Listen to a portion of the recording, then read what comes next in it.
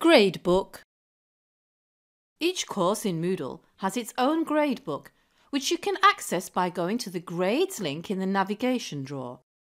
By default, students see this link as well, and this is where they can access their course grades.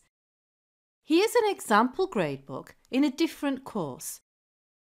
Depending on your administrator's settings, you might see the various elements of the gradebook as tabs across the screen or as a drop-down menu or both.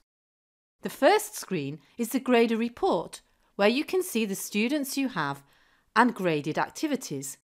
Note that if you have a lot of students and graded activities, then as you scroll across, you can still see the students' names, and as you scroll up and down, you can still see the titles of the graded activities. Grade history will allow you to see the different grades and when they were modified and by whom. The single view tab or the pencil icon by the student's name take you to the single view which allows you to focus on one particular student or one particular grade item. The user report or the icon here next to the student's name takes you to the individual grades of one student and this is what a student sees when they click the grades link in the nav drawer.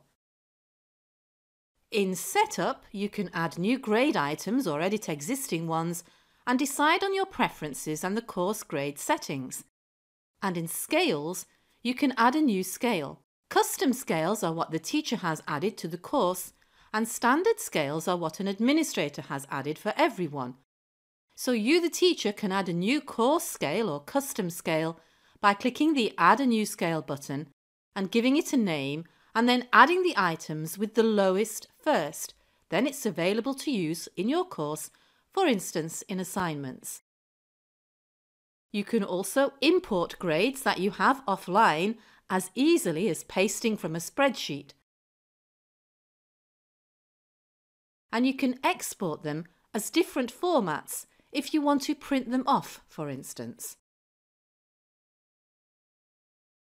The gradebook is very powerful in Moodle and we've only been able to see a few of its features, but hopefully this has given you an idea of what it can do for you as a teacher in your course.